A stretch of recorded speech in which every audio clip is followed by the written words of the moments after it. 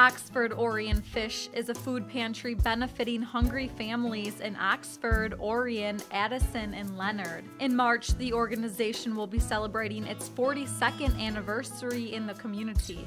Each month, over 200 families visit the food pantry located in Oxford, which equates to over 16,000 pounds of food a year.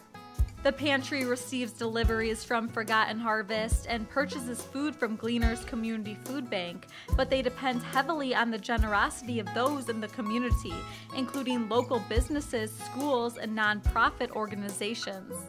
We uh, depend entirely on volunteers. Uh, that's another feature of uh, our pantry. There's not a single person that receives uh, any kind of a salary.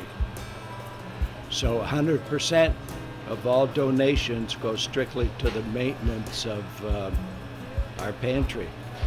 Oxford Schools organizes a food drive at Thanksgiving, and the shelves are well stocked throughout the holidays. But the food pantry experiences a dry spell after Christmas until the letter carrier's food drive in May.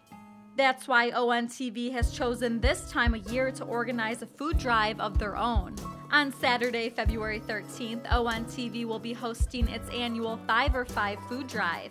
We will be live on air from 10 a.m. to 4 p.m., raising money and food for the Oxford Orion Fish Food Pantry. Bring in $5 or 5 food items in support of this great cause. And while you're here, stick around for family fun live entertainment and enter our drawings for your chance to win some great prizes. If you can't make it to the food drive, you can still donate food or money long after the drive is over. Visit oxfordorionfish.org throughout the year to take a look at the pantry's wish list. You can make monetary donations online as well. That's oxfordorionfish.org or give them a call at 248 628 3933 for any additional information.